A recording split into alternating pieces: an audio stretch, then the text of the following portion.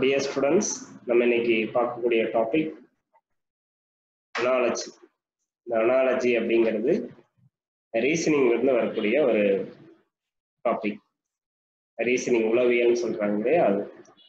இது மோஸ்ட்டாக எல்லா எக்ஸாமுக்குமே கேட்பாங்க.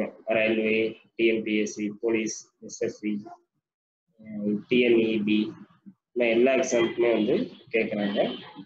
ரொம்ப முக்கியமான ஒரு டாபிக் ரொம்ப ஈஸியான டாபிக் கூட இதை வந்து நம்ம ஜஸ்ட் அண்டர்ஸ்டாண்ட் பண்ணால் போதும்.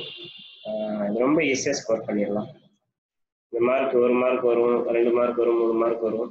ஸோ எவ்வளோ வந்தாலும் சரி அந்த ஒரு மார்க்குக்கு எவ்வளோ லட்சம் காம்படிட்டர்ஸ் இருக்காங்க அப்படிங்கிறது விஷயம். ஸோ அந்த உளவியல் டாபிக் வந்து ரொம்ப முக்கியமான ஒரு டாபிக் ஈஸியான டாபிக் கூட நம்ம இதை பற்றி நிறுத்தோம் சரி நாலேஜ் ஸோ அனாலஜிங்கிற டாபிக் இந்த ஒத்த தன்மைன்னு சொல்றாங்க இதில் இதுல வந்து ஒரு மார்க்ல இருந்து மூணு மார்க் வரையும் கேட்பாங்க இந்த டாபிக் தெரியும்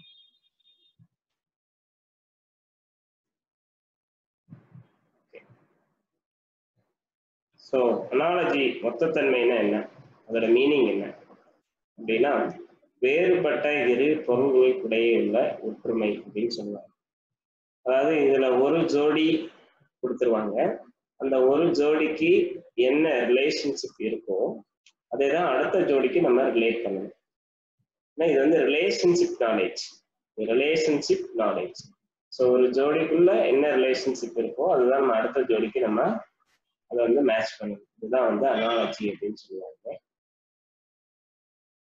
ஸோ இதில் பாருங்க. இந்த வகை வினாக்களில் இரு வேறு வார்த்தைகள் தொடர்பு படுத்தி மூன்றாவதாக ஒரு வார்த்தை கொடுத்து அதன் தொடர்புடைய வார்த்தையை காணுமாறு கேள்விகள் கேட்கப்படும் அப்படின்னு சொல்லுவாங்க. ஃபார் எக்ஸாம்பிள் ஏபி அப்படிங்கிறது ஒரு ஜோடி அப்படின்னா இதே மாதிரி கொஸ்டின் வந்து சி சி கொடுத்து அதுக்கப்புறம் ஒரு கொஸ்டின் மார்க் கொடுத்துருவோம் ஏபிங்கிறது ஒரு ஜோடியாக கொடுத்துட்டாங்க.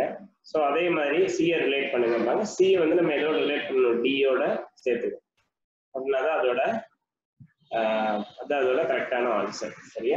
ஸோ ஏபிங்கிறது ஒரு ஜோடி. அதுக்கு அடுத்து கண்டினியூ சின்னு கொடுத்துறாங்க சிக்கு அடுத்த லெட்டர் என்ன? டி இப்போ டி கொடுத்துருந்தாங்கன்னா டிக்கு அடுத்த லெட்டர் இ e போடணும். அது ஒரு ஜோடி. சரியா?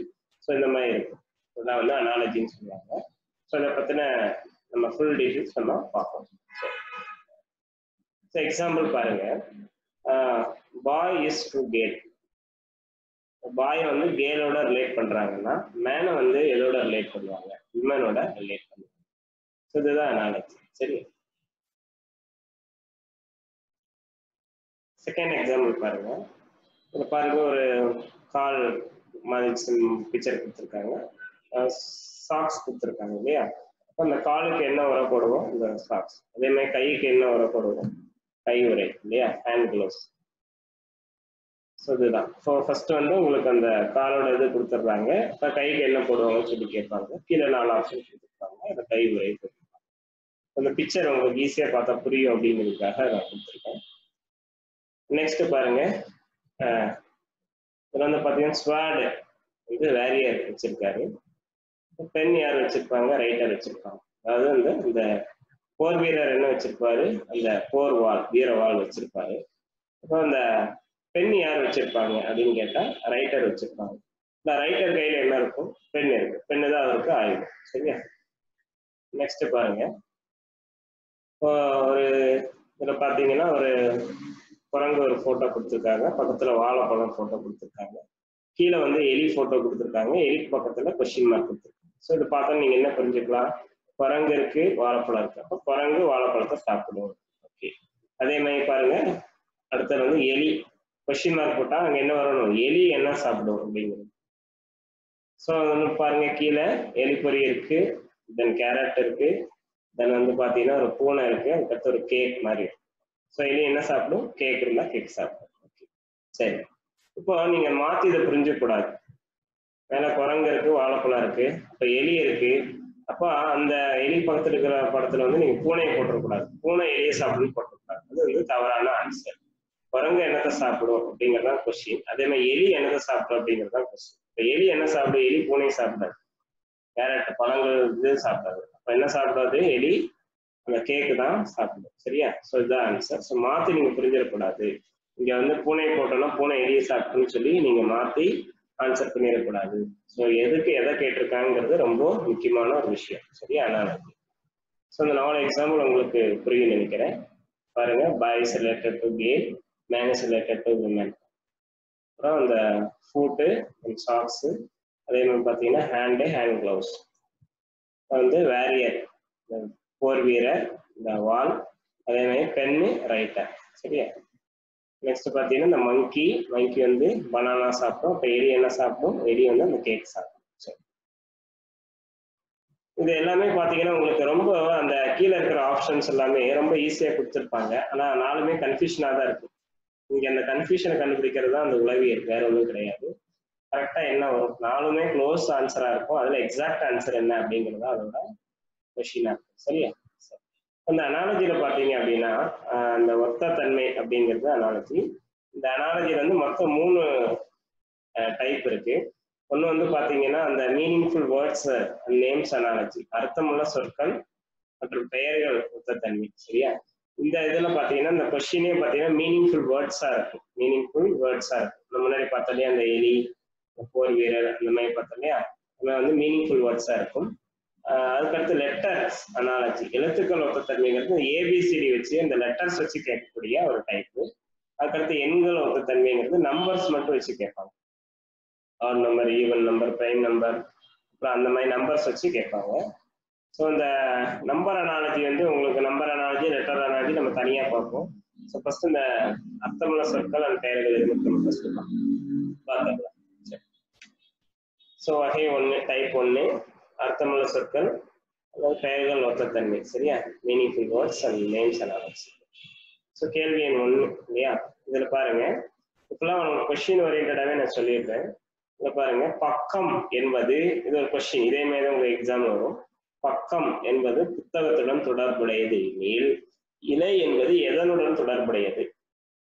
பக்கம் புத்தகம். இதுக்கு என்ன ரிலேஷன்ஷிப் புத்தகத்துல ஒரு ஒரு ஒரு பக்கம் தான் வந்து பக்கம் புத்தகத்தோட ஒரு லீஃப் தான் வந்து பக்கம்னு சொல்றோம். அப்ப எதோட ஒரு பார்ட் வந்து இலைன்னு சொல்றோம்.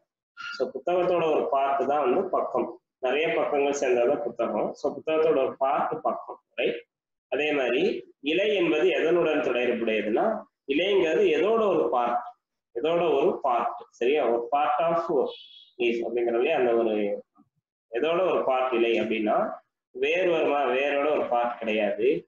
பச்சை வருமா பச்சைங்கிறது கலர் அதுவும் கிடையாது. காடு வருமா காடுங்கிறதும் கிடையாது. மரம். மரத்தோட ஒரு பார்ட்டு தான் இலை. ஏன்னா நிறைய இலைகள் சேர்ந்தது தான் ஒரு மரம். சரியா? அதனால வந்து மரத்தோட ஒரு பார்ட் ஸோ ஆன்சர் வந்து மரம். சரியா? இது வந்து நீங்க ரிலேட் பண்றது ரொம்ப கவனமா பார்க்கணும். எக்ஸாம்ல நம்ம ஒரு எமர்ஜென்சினா இருப்போம். ஸோ நீங்க கன்ஃபியூஸ் பண்ணிக்கூடாது தெளிவா பார்த்து ஏன்னா ஒரு மார்க்னாலும் ஒரு மார்க் ரொம்ப முக்கியமான ஒரு விஷயம் நமக்கு. ஸோ வந்து நீங்க ரொம்ப கேர்ஃபுல்லா போடணும். ரொம்ப ஈஸி தான். ஆனா அந்த பதட்டத்துல தப்பு பண்ணிடக்கூடாது. நாலு ஆப்ஷனையும் படிச்சு பார்த்தா அதுல எது கரெக்டா இருக்குங்கிறத அனாலிசிஸ் பண்ணி தான் நீங்க எழுதணும். சரியா? நெக்ஸ்ட் மருத்துவர் என்ப என்பவர் ஸ்டெட்டஸ்கோப்புடன் தொடர்புடையவர். எனில் வர்ணம் தீட்டுவோர் எதனுடன் தொடர்புடையவர்? மருத்துவர் என்பவர் ஸ்டெட்டஸ்கோப்புடன் தொடர்புடையவர். எனில் வர்ணம் தீட்டுபவர் எதனுடன் தொடர்புடையவர்? மருத்துவர் ஸ்டெட்டஸ்கோப் இதுக்கு என்ன ரிலேஷன்ஷிப் டாக்டர்கிட்ட எப்பவுமே இந்த ஸ்டெட்டஸ்கோப் இருக்கும். சரி அந்த கழுத்தில் மாட்டிருப்பாங்க இல்லையா? அந்த ஹார்ட் பீட் செக் பண்ணுறாங்க இல்லையா? அதை ஸ்டெட்டஸ்கோப் அது வந்து வச்சிருப்பாரு. அப்படின்னா வர்ணம் தீட்டுவர்னு யாரு? பெயிண்டர் பெயிண்டர் கையில் என்ன டூல் இருக்கும்? அதில் பாருங்க நாலு ஆப்ஷன் வர்ணம் தீட்டுதல் பெயிண்ட் பண்ணுறாருன்னு அர்த்தம். தூரிகைனா பெயிண்ட் பிளஸ் பொருட்காட்சி கலை. இதுல என்ன இருக்கும்? பெயிண்டர்கிட்ட என்ன டூல் கையில் வச்சிருப்பாருன்னா தூரிகை தூரிகைங்கிறது என்னது? பெயிண்ட் பிரஷ் சரியா? ஸோ அது doctor stethoscope painter paint brush தூரிகை. சரியா? தூரிகைனா paint brush so answer is தூரிகை. ரொம்ப முக்கியமா பெயிண்டர் வந்து வர்ணம் தீட்டுவர்னு போட்டு நீங்க வர்ணம் தீட்டுதல்னு போட்டக்கூடாது ஏன்னா எதுக்கு எதை ரிலேட் பண்ணியிருக்காங்கன்னு பார்க்கணும். மருத்துவர் கையில இருக்கக்கூடிய டூலை ரிலேட் பண்ணியிருக்காங்க. பெயிண்டர் கையில இருக்கக்கூடிய மேஜர் டூல் என்னது? தூரிகை.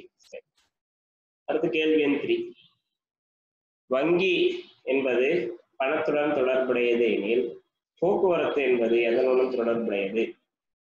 வங்கி என்பது பணத்துடன் தொடர்புடையது. வங்கி வங்கியில் என்ன இருக்கும்? பணம் இருக்கும் இல்லையா? சரி. அதே மாதிரி போக்குவரத்து போக்குவரத்து எதனுடன் தொடர்புடையது? போக்குவரத்துங்கிறது எதுல இருக்கும்? சாலையில தான் இருக்கும். சாலை சரியா அதுல பாத்தீங்கன்னா சரக்கு போக்குவரத்து இயக்கம்னு போட்டிருக்காங்க. சரக்கு வராது.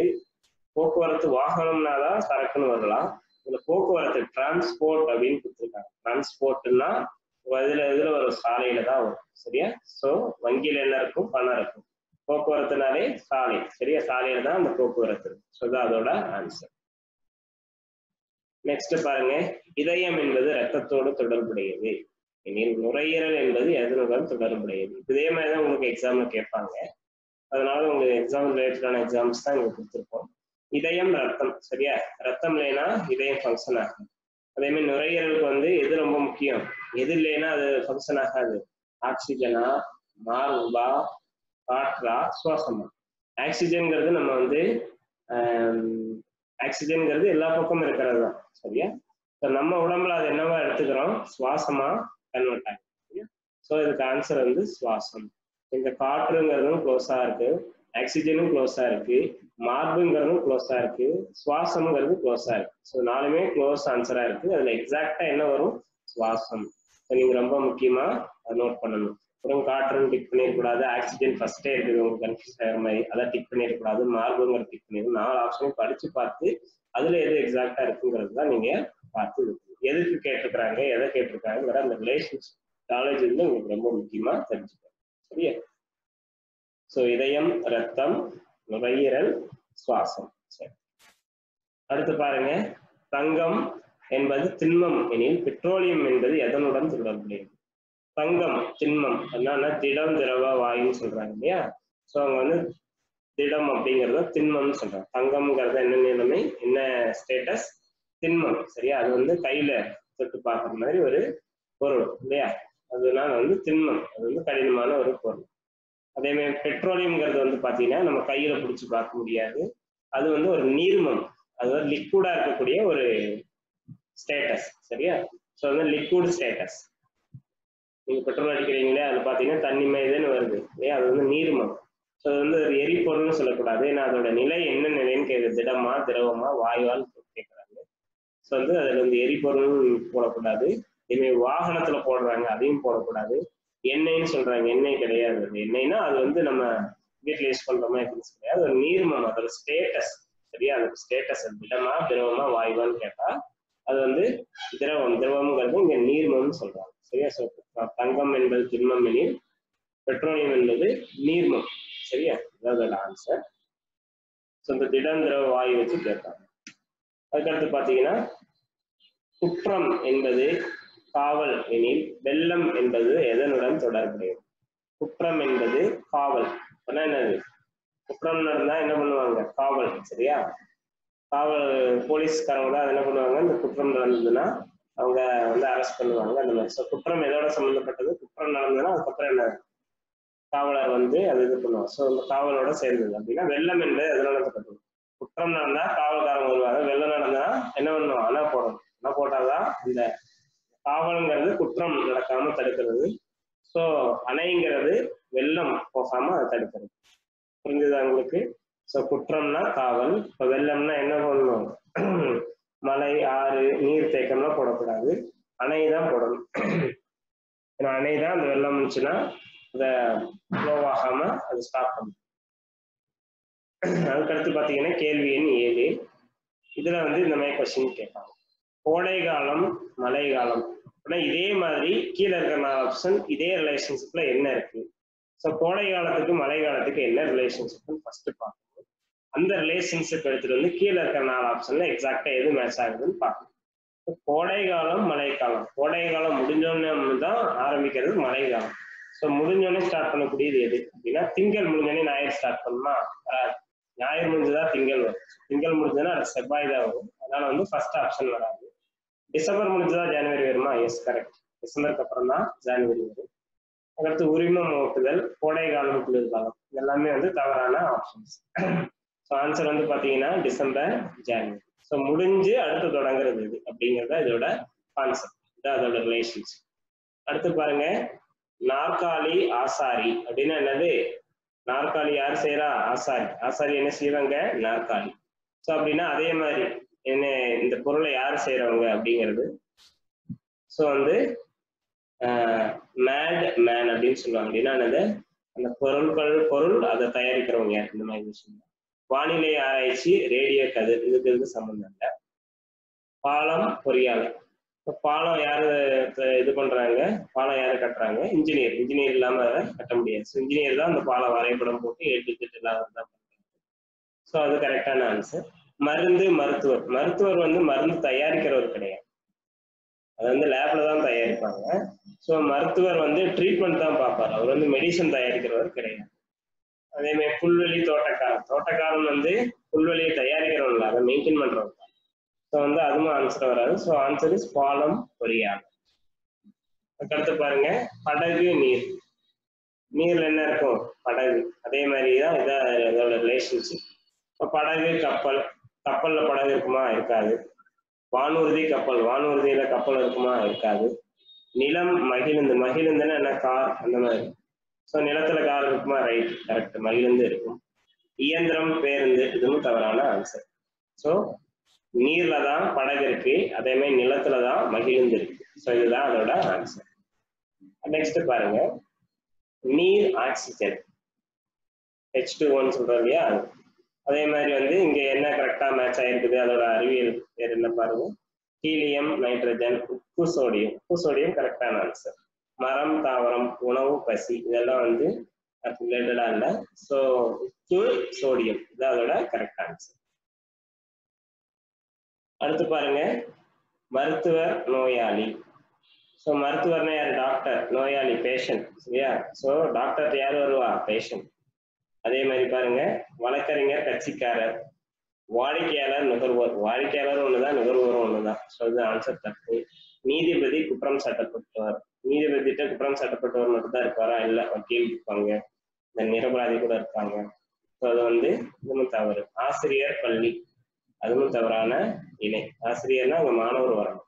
வந்து இந்த மூணுமே தவறான இணை. வழக்கறிஞர் கட்சிக்காரர் தான் கரெக்டானது வழக்கறிஞர்கிட்ட யார் இருப்பாங்க? கட்சிக்காரர் தான் இருப்பாங்க. ரைட்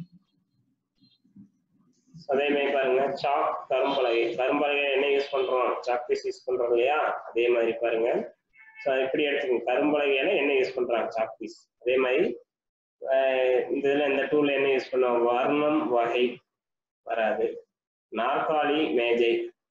நாற்காலி வந்து சேரு மேஜை இல்லையா? இது ரெண்டுமே வந்து செப்பரேட் டூல்ஸ் இது வராது.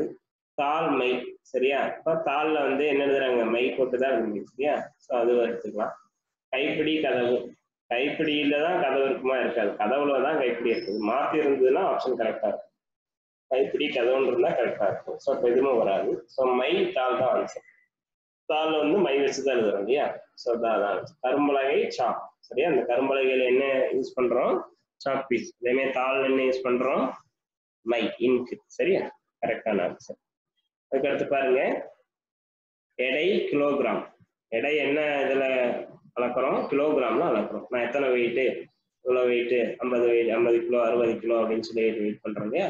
ஸோ வெயிட் மிஷின்ல ஏறினா என்ன காமிக்குது? எடை தான் காமிக்குது. அந்த மாதிரி பார்த்தீங்கன்னா அந்த நொடிகள் பாருங்க. நொடிகள் வந்து அது எதோட அழைக்கிறோம்? மணிகள்ல அதுல கிடையாது. நொடிகள் வேற மணிகள் நொடி நொடிகளுக்கு மேலதான் மணிகள் இருக்கு. ஸோ அது வராது. தூரம். தூரத்தை வந்து எதோட நம்ம மென்ஷன் பண்றோம். கிலோமீட்டர் கரெக்ட் இத்தனை கிலோமீட்டர் அத்தனை கிலோமீட்டர்னு சொல்றோம். எவ்வளவு தூரம்ங்கிறத வந்து கிலோமீட்டரால நம்ம அளக்கிறோம் ஸோ அது கரெக்ட் கொள்ளளவு மீட்டர் தப்பு மைல் நீளம் அதுவும் தப்பு ஸோ தூரம் கிலோமீட்டர் தான் கரெக்டான ஆன்சர் அதுக்கடுத்து பாருங்க. கேடயம் போர் வீரன். ஆல்ரெடி பார்த்தோம் இல்லையா அந்த மாதிரி தான் கேடயம் போர் வீரன். கேடயம்னா என்னது? போர் வீரன். போர் வீரன் கையில கேடயம் இருக்கு. எதுக்கு? அதை அவனை காப்பாத்திக்கிறதுக்காக. அவங்க யாராவது எதிரிகள் வந்து அவனை குத்த வந்தாங்கன்னா அதுல இருந்து அவன் வந்து தப்பிச்சுக்கிறதுக்காக அவனோட உயிரை காப்பாற்றிக்கிறதுக்காக ஸோ அதே மாதிரி கான்செப்ட் இங்க என்ன இருக்கு? சட்டம் நீதிமன்றம் தப்பு. ஸ்டெட்டஸ்கோப் மருத்துவர் தப்பு. இந்த மருத்துவ ஸ்டெட்டஸ்கோப் வச்சுட்டா அவர் தப்பு செய்யறாரு எப்படி? தலைக்கவசம் வாகனம் ஓட்டுபவர். கரெக்ட் தான். ஏன்னா வாகனம் ஓட்டுபவர் வந்து கண்டிப்பா தலைக்கவசம் வச்சுக்கணும். ஏன் அப்படின்னா ஏதாவது ஆக்சிடென்ட் ஆச்சுன்னா அவரோட உயிரை காப்பாற்றிக்கிறதுக்காக ஸோ இதுதான் அதோட கரெக்டான அந்த ரிலேஷன்ஷிப்ல இருக்கும். ஸோ இதுதான் அதோட ஆன்சர் அதே மாதிரி பாருங்க புத்தகம் மாணவர். மாணவர் புத்தகத்தை வச்சுட்டு தப்பு செய்யறாரா இல்லை இல்லை. ஸோ வந்து ஸோ தலைக்கவசம் வாகனம் ஓட்டுபவர். இதுதான் அதோட ஆன்சர் இது பாருங்க. இது வந்து இவ்வகை வினாக்களில் இருவேறு வார்த்தைகள் தொடர்புபட்டு தொடர்புபடுத்தப்பட்டு மூன்றாவதாக அதை டிட்டோ கொடுத்துருப்பாங்க. இந்த சேம் டிட்டோலாம் அடுத்தது வந்து நம்ம கனெக்ட் ரிலேஷன்ஷிப் வந்து நம்ம கண்டுபிடிக்கணும். அப்படிங்கிறது அதோட மீனிங் பாருங்க. ஓவியம் ஓவியர். சிம்பொனி. அடுத்து என்ன வரும்? ஓவியர் என்ன பண்றாரு? ஓவியம் வரைகிறார் அதே மாதிரி சிம்பொனி வந்து யார் பண்றா? தொகுப்பாளர் பண்றா. இல்லையா? நாவலாசிரியர் பண்ண முடியாது. கவிஞர் கட்டுரையாளர் பண்ண முடியாது. ஸோ தொகுப்பாளர் தான் அந்த சிம்பொனி பண்ண முடியும். சரியா? வயிறு உணவு. வயிறுக்கு என்ன வேணும்? உணவு வேணும். அதே மாதிரி எரிபொருள். எரிபொருளுக்கு என்ன வேணும்? இயந்திரம் இருந்தால் தான் எரிபொருள். ஒரு மோட்டார் வேணும்னா மோட்டார் ஓடுறதுக்கு எரிபொருள் வேணும். நம்ம பைக் வச்சுருக்கோம் கார் வச்சுருக்கிறோம் அது ஒரு இயந்திரம். இப்போ அது ஓடணும்னா என்ன வேணும்? உங்களுக்கு அந்த எரிபொருள் வேணும். ஸோ எரிபொருள் எதுக்கு வேணும்? இந்த இயந்திரம். சரியா? இந்த மோட்டார் வண்டிக்கு வந்து டீசல் பெட்ரோல் அது வேணும்.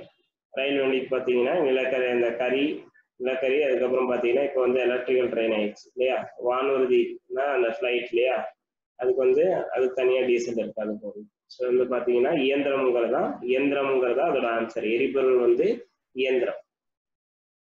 ஸோ இந்த மோட்டார் வண்டி ரயில் வானூர்தியில எக்ஸாக்டா டீசல் பெட்ரோல் அந்த மாதிரி கொடுத்துருந்தாங்கன்னா தான் நீ போடணும் காமனா எரிபொருள் கொடுத்தனால நீங்க இயந்திரம் தான் செலக்ட் பண்ணி நெக்ஸ்ட் பாருங்க வெற்றி மகிழ்ச்சி. வெற்றினா என்ன? வெற்றி அடைஞ்சா நம்ம சந்தோஷம் வரும். தோல்வி அடைஞ்சா என்ன வரும்? கவலை வரும். கோபமோ ஏமாற்றமோ விரயமோ அது எல்லாமே ஒன்று எல்லாம் ஒரே சம்மந்தப்பட்ட விஷயம்தான். ஸோ மகிழ்ச்சிக்கு ஆப்போசிட்டா தான் நீங்க போடணும். ஸோ வெற்றிங்கிறதுக்கு ஆப்போசிட்டா தோல்வி இருக்குங்க இப்போ மகிழ்ச்சிங்கிறதுக்கு ஆப்போசிட்டா கவலை. ஸோ அதான் நீங்க கிளிக் பண்ணணும். நெக்ஸ்ட் பாருங்க. சோம்பல் வேலை மௌனம். சோம்பல் வேலைன்னு என்ன? சோம்பலுக்கு ஆப்போசிட் ஸோ சோம்பேறியா இருக்கிறான். அப்போ அவனுக்கு ஆப்போசிட்டா என்ன? இன்னொருத்தர் சுறுசுறுப்பா இருப்பான். ஸோ சோம்பலுக்கு ஆப்போசிட் வேலை. அதான் சுறுசுறுப்புன்னு கொடுத்துருந்தா நீங்க சுறுசுறுப்பு எடுத்துக்கலாம். ஸோ இங்க வேலையை கொடுத்துருக்கான். இப்போ மௌனத்துக்கு ஆப்போசிட் என்ன ஒருத்தர் அமைதியாவே இருக்காரு. அவர் அவரை நார்மல் ஆக்கணும்னா அவர் பேசணும் இல்லையா? ஸோ பேசுறதுங்கிறது மௌனத்துக்கு ஆப்போசிட் ஸோ கவனித்தல் ஏமாற்றுவோ செயல்படுதல் வராது. பேசுறது பேசுதல் அப்படிங்கிறது அதோட ஆன்சர் நெக்ஸ்ட் பாருங்க ரொட்டி கோதுமை.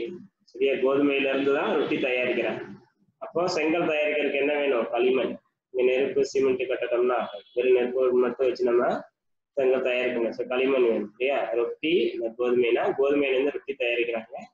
அப்ப செங்கல் வந்து செங் செங்கல் வந்து எதுல இருந்து தயாரிக்கிறாங்க? அப்படிங்கறதான் கொஸ்டின் களிமண்ல இருந்து தயாரிக்கிறாங்க.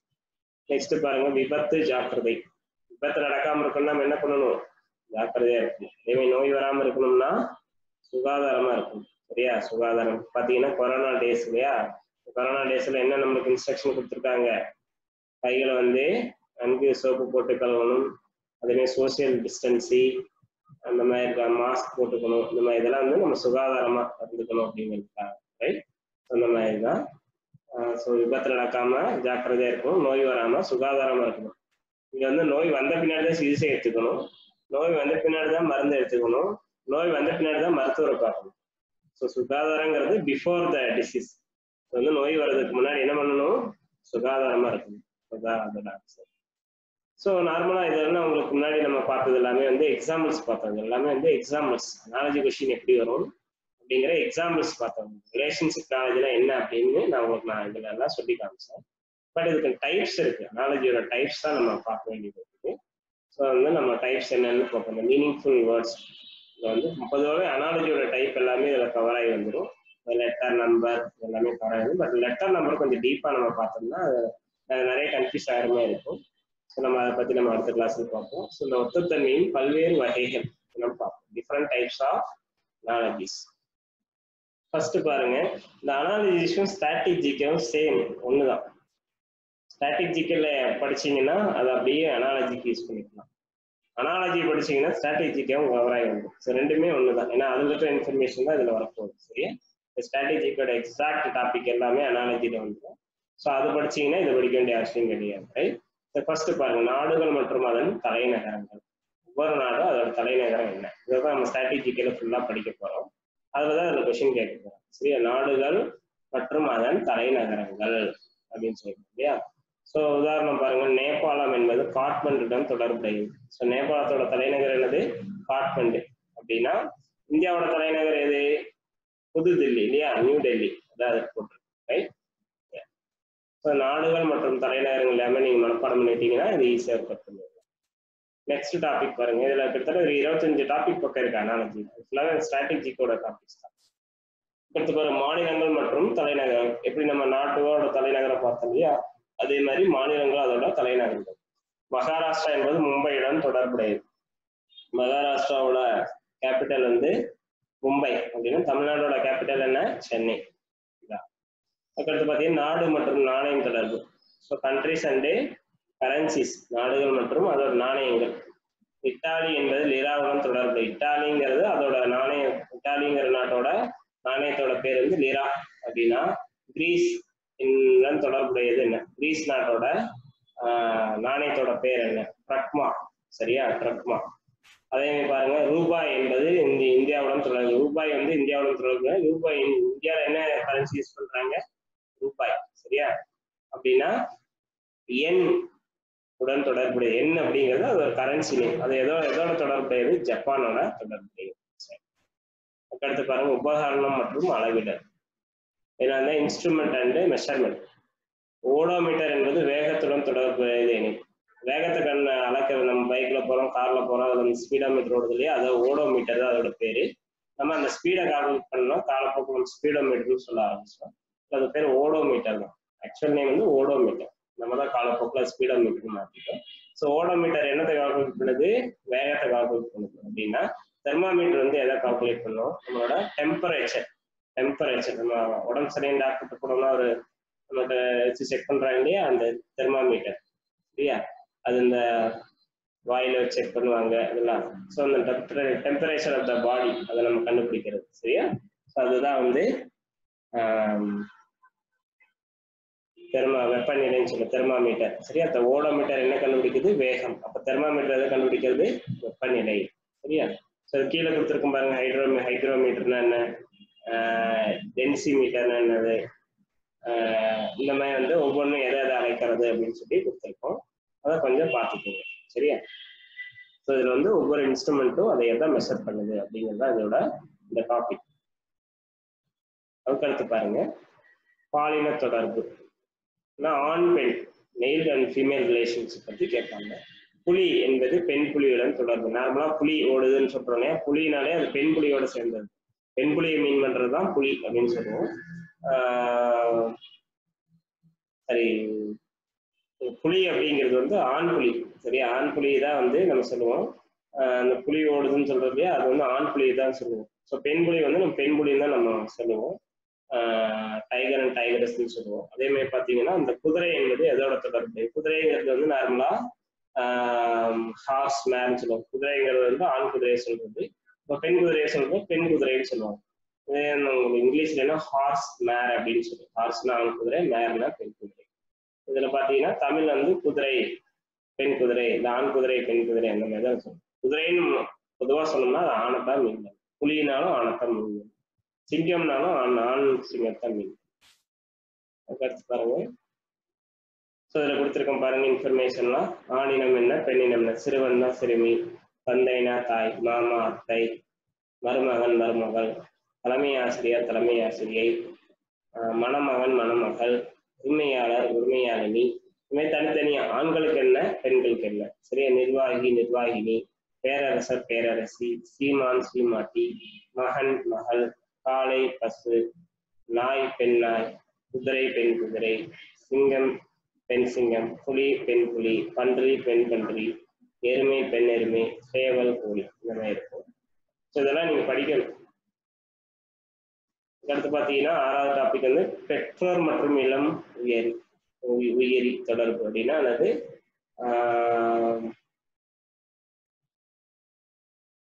அதாவது வந்து அந்த நார்மலா அந்த விலங்கு அதோட குட்டியோட பேர் என்ன அப்படிங்கிறது தான் அது வந்து பசு பசுங்கிறது ஒரு பெரிய விலங்கு. அதோட அதோட சைல்டு அதோட கிட் என்னன்னு சொல்லுவாங்க. கன்று குட்டி அப்படின்னு சொல்லுவோம் அதே மாதிரி பார்த்தீங்கன்னா நாய். நாய் வந்து அதோட நாயோட குட்டி என்ன சொல்லுவோம் நாய்க்குட்டி அப்படின்னு சொல்லுவோம் ஸோ இந்த மாதிரி பெரிய விலங்கு அதோட சின்ன விலங்கு.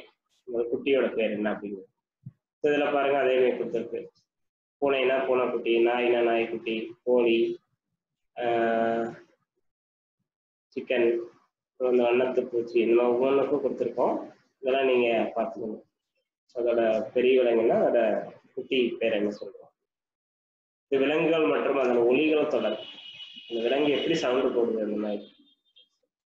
சிங்கம் முழங்கும் நரி உலையிடும் புலி உருவடும் மயிலாகவும் யானை புலியிடும். இந்த மாதிரி விலங்குகளோட சவுண்ட் சவுண்டை பத்தி நம்ம பார்க்கணும். இதெல்லாம் நீங்க படிச்சு வச்சுக்கணும். இதெல்லாமே அதுல வரும்.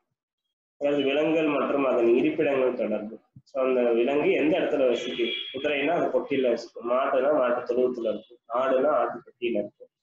எலி நண்டுலாம் அந்த வலை கொண்டு இதுல இருக்கு.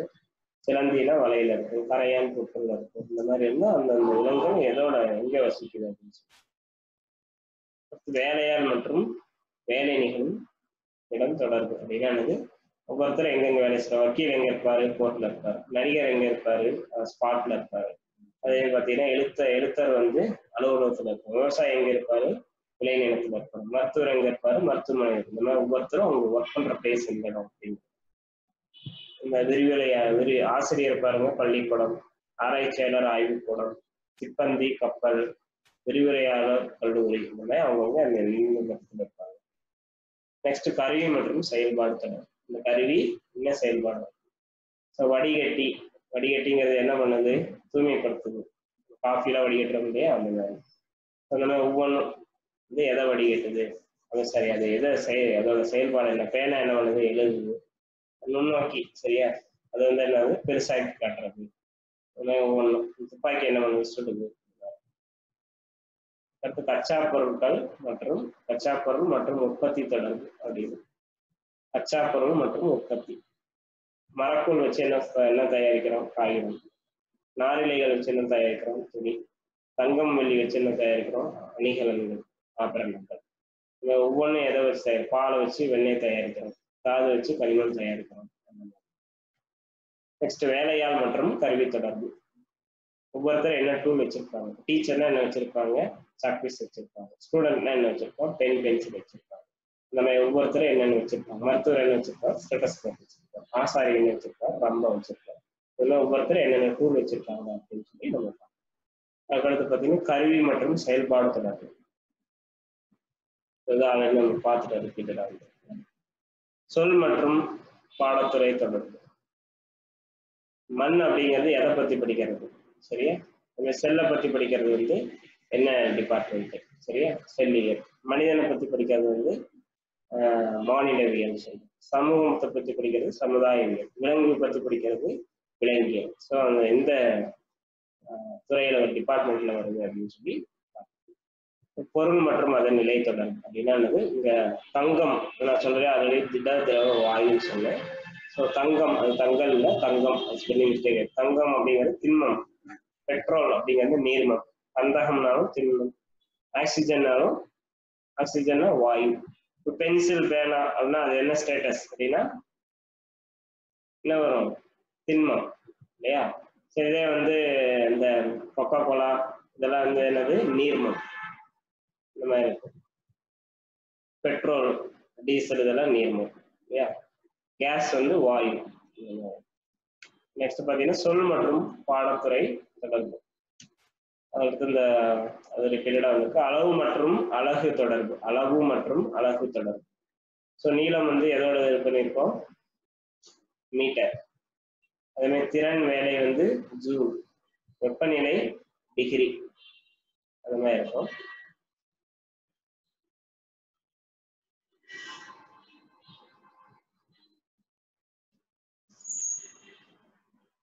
ஒன்று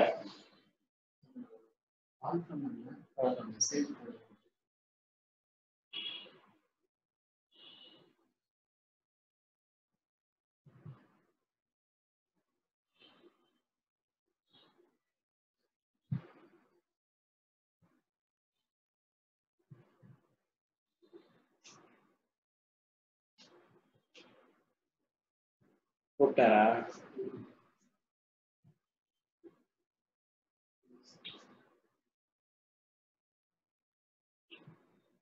ஆ சார் சார் சார் சொல்லுங்க. சரிங்க சார். சரிங்க சார். சரிங்க சார். சரிங்க சார்.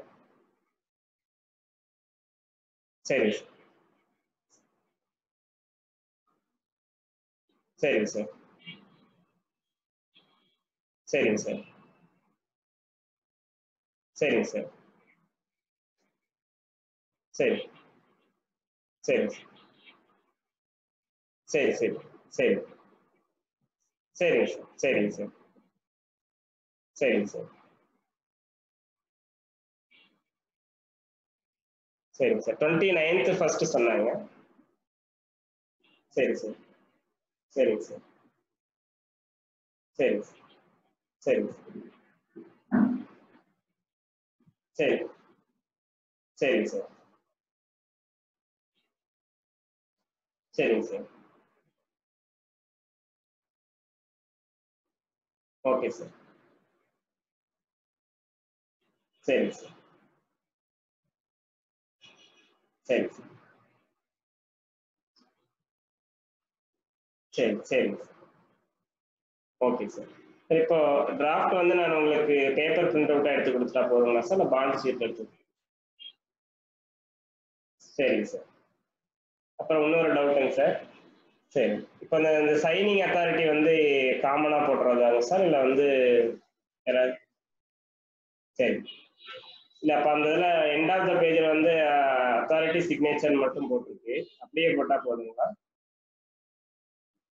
ஓகே சரி சார். இப்போ தனித்தனியாக ஒவ்வொரு காலேஜுக்கும் தனித்தனியாக போடணும். சரி ஆமாம் சார் ஆமாங்க சார் சரி சார். சரி சரி.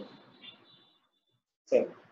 சரி sir arts and science polytechnic அப்புறம் இன்ஜினியரிங் காலேஜ் சரி மூணுக்கும் ஒரு காப்பி எடுத்து கொடுத்தா போதும் இல்லைங்களா சார் இது வந்து பிரிண்ட் அவுட் வந்து நம்ம நார்மலாக அந்த எம்ஓஇ போடும்போது பாண்ட் ஷீட்டில் தானே சார் போடுவாங்க? இந்த ஸ்டாம்ப் பேப்பர்ல தானே போடுங்க சரிங்க சார் சரி சார் அந்த இவர் ஆமாங்க sir okay sir okay sir நான் இப்போ கீழே ஸ்டாஃப் அனுப்பிச்சி விட்றேன் சார் சரி சார் இந்த ஸ்டேட் பேங்க் கிட்ட நிற்க சொல்கிறேன் சார் சரி sir okay sir thank you sir நன்றி சார் நன்றி என்ன பண்ணுறது?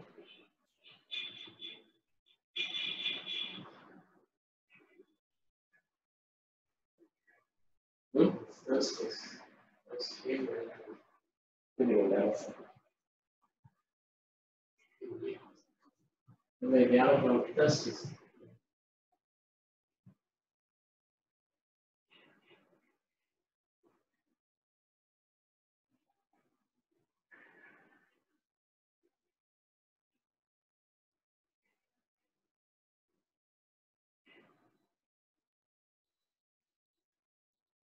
புரியுதுங்களா இந்த வியாழக்கிழமை Thursday. சுனில் ம், நீங்க கீழே போங்க ஸ்டேட் பேங்க் வீரராகவன் சார் சொல்லி ஃபோன் பண்ணுங்க ஃபோன் பண்ணாலே நீங்க அப்படியே சைன் பண்ணிக்கலாம் சார் ஸ்டேட் பேங்க்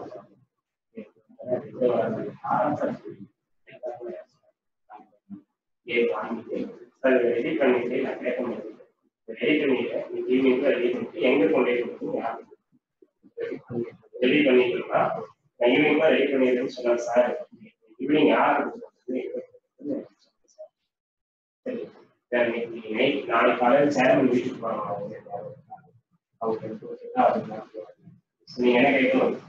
இன்னைக்கு ஈவினிங்க்கு வேணும்னு சொன்னார். ஈவினிங்க்கு ரெடி பண்ணி ஈவினிங் ரெடி பண்ணி யாருக்கு கொடுக்கணும் எங்க கொடுக்கணும் யாருக்கு கொடுக்கணும் இன்னைக்கு கொடுக்கணும் நாளைக்கு காலையில் ஐநூறு பேர் சரி சாப்பிட்டாச்சா உமேஷ் உமேஷ் சாப்பிட்டாச்சா?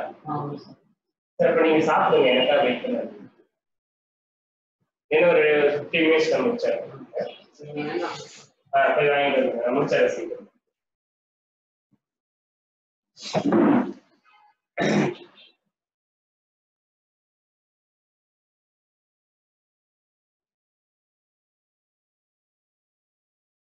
நெக்ஸ்ட் நம்ம பார்க்கக்கூடிய டாபிக் வந்து அளவு மற்றும் அழகு தொடர்பு. சரியா? இதுல வந்து பாத்தீங்கன்னா நீளம் நீளம்ங்கிறது இதுல நம்ம நடக்கிறோம் மீட்டர்ல நடக்கிறோம் திறன் வேலைங்கிறது ஜூல்ல நடக்கிறோம் ஸ்டூடெண்ட்னா அவங்களோட இது நம்ம என்ன ஸ்டூடெண்ட்ஸ் எப்படி படிச்சிருக்காங்க நம்ம எப்படி பார்க்கறது அந்த அளவீடு வந்து மார்க்ல பார்க்கறோம் இல்லையா? அந்த மாதிரி வந்து வெப்பநிலை அப்படிங்கிறது நம்ம எதுல கால்குலேட் பண்ணுவோம்? டிகிரியில கால்குலேட் பண்றோம் இல்லையா? அதே மாதிரி பாத்தீங்கன்னா பரப்பு அப்படிங்கிறது ஹெக்டார்ல கால்குலேட் பண்ணுவோம் காந்தப்புலம் அப்படிங்கிறது வந்து வயஸ்டர்ல கால்குலேட் பண்ணுவோம் இந்த மாதிரி வந்து எதை வந்து எதோட அஹ், அளவுல வந்து நம்ம அதை அனுப்புறோம் அப்படிங்க நெக்ஸ்ட் பாத்தீங்கன்னா தொழிலாளர் மற்றும் உற்பத்தி தொடர். தொழிலாளர் மற்றும் உற்பத்தி தொடர். அப்படின்னா என்னது? ஆஹ் ஆசாரி மரசாமன் தொழிலாளர். அந்த மேன் வந்து எதை மேனுஃபேக்சர் பண்றாங்க ஆசிரியர் வந்து என்ன ப- தயாரிக்கிறான் புத்தகம் இல்லையா? அது வந்து புத்தகங்கிறது வராது. நாலேஜ் சரியா? நாலேஜ் தயாரிக்கிறாங்க அதே மாதிரி பார்த்தீங்கன்னா தையல்காரர் டெய்லர் வந்து என்ன பண்ணுறாரு ஆடைகள் தயாரிக்கிறார். அதே மாதிரி ஆசாரி என்ன தயாரிக்கிறாங்க? மரசாமான்கள் தயாரிக்கிறாங்க இன்ஜினியர் வந்து பில்டிங் தயாரிக்கிறாங்க இந்த மாதிரி வந்து ஒவ்வொருத்தரும் என்ன தயாரிக்கிறாங்க அப்படின்னு. நெக்ஸ்ட் வார்த்தை மற்றும் அதன் நேர்ச்சொல். தமிழ் வந்து அறிஞர் பொருள்னு சொல்லுவாங்க. இங்கிலீஷ் வந்து சினானிம்ஸ்னு சொல்லுவாங்க. ஈக்குவலான மீனிங் சரியா? அற்று அன்ன அகம் அண்ணா என்னது? அரவுனா என்ன பாம்பு? அழகுன்னா என்ன கோழி? அல்லன்னா துன்பம். ஒரு ஈக்குவல் மீனிங் என்ன? அகம்னா உள்ளம். அது மாதிரி. நெக்ஸ்ட் பாத்தீங்கன்னா இந்த வார்த்தை மற்றும் எதிர்ச்சொல் தொடர். ஆப்போசிட் ஆப்போசிட் மீனிங் இப்போ மகிழ்ச்சினா கவலை.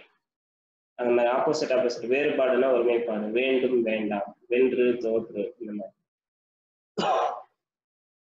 அடுத்தது பார்த்தீங்கன்னா வார்த்தை மற்றும் அதை மிகைப்படுத்தும் தொடர்பு.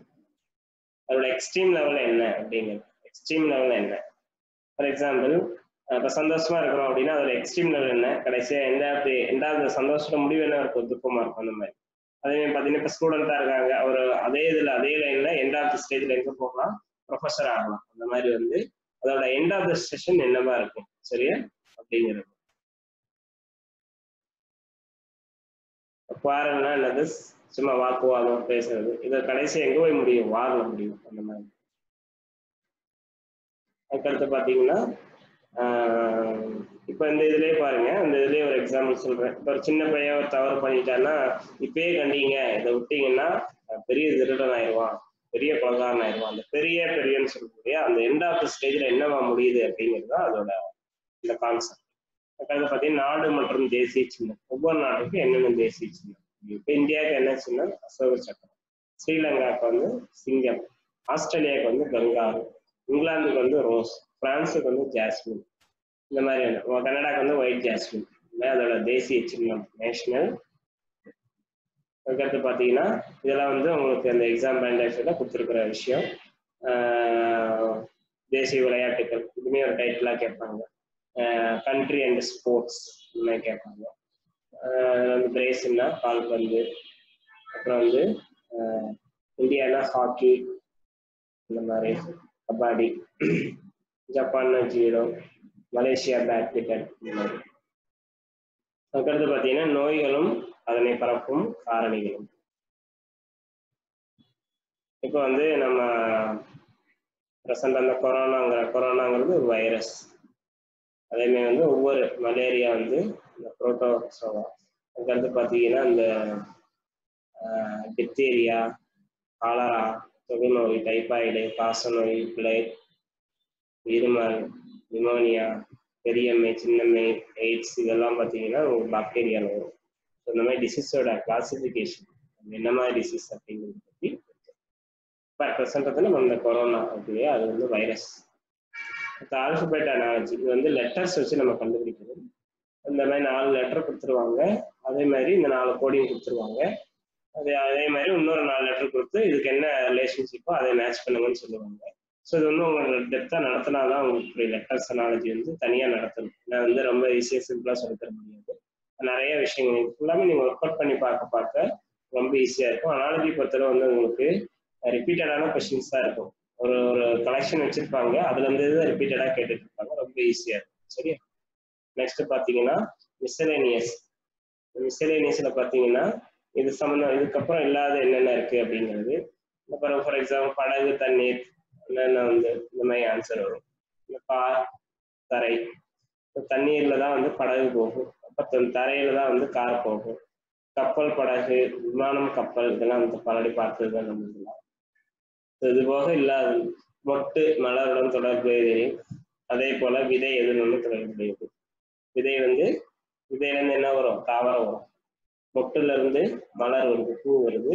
அதே மாதிரி விதையில இருந்து தாவரம் வரும். இந்த மாதிரி. இருக்கும் ஸோ இந்த அனாலஜி வந்து ரொம்ப ஈஸியான டாபிக் உங்களுக்கு புரிஞ்சிருக்கும்னு நான் நினைக்கிறேன். இதில் இதுல என்னென்ன கிளாசிபிகேஷனுங்கிறது நான் உங்களுக்கு நான் சொன்னேன். இத்தனை கிளாசிபிகேஷன்ஸ் இருக்கு. சரியா? ஸோ இது எல்லாமே ஸ்டாட்டிக் வரக்கூடிய விஷயம் தான் ரொம்ப ஈஸியாக இருக்குது படிக்கிறதுக்கு இது எல்லாமே.